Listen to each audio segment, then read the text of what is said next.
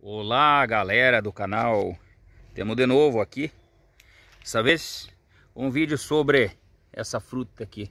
Eu não sei se é fruta ou o que, que é essas vagens aqui.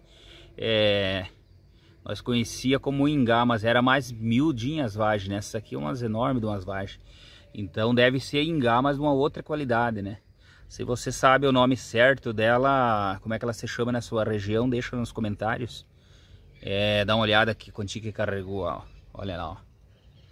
É um pé pequeno, E carregou de... Dá uma olhada aqui nessa penca de vagem aqui no chão já, ó. Encostando no chão, hein. Olha que delícia,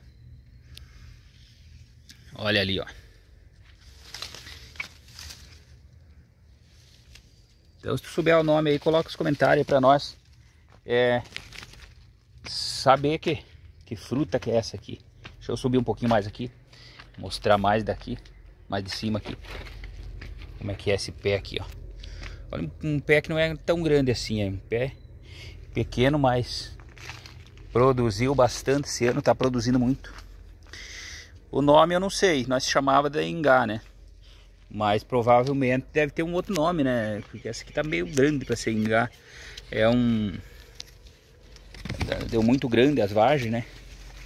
Aqui dá uma olhada, olha. Olha que coisa linda. E tem um gosto, é gostoso mesmo, uma fruta bem deliciosa. É, tem os caroços, né? Não dá para facilitar engolir o caroço, mas é uma delícia, viu? Deixa eu pegar uma vagem aqui, vou abrir uma vagem para nós. Vou mostrar para vocês. Olha o tamanho que é. Uma delícia, viu?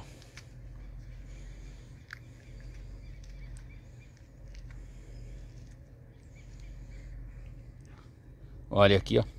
Eu peguei uma média, não é das bem grandes, né? Tem umas do tamanho da minha mão, assim, mais ou menos. Umas enormes de umas baixas. Olha aqui, ó.